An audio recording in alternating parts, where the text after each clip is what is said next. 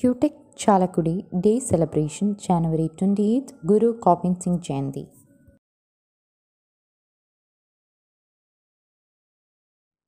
Who is Guru Gobind Singh? Guru Gobind Singh, born Govind Rai, was the 10th Sikh Guru, a spiritual master, warrior, poet, and philosopher.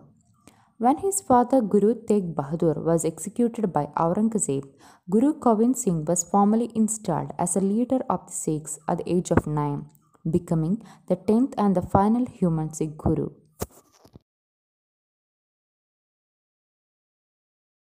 Guru Gobind Singh Jayanti is a Sikh festival that commemorates the birthday of Guru Gobind Singh Ji, the 10th Guru of Sikhs. It is a religious celebration in which prayers for prosperity are offered.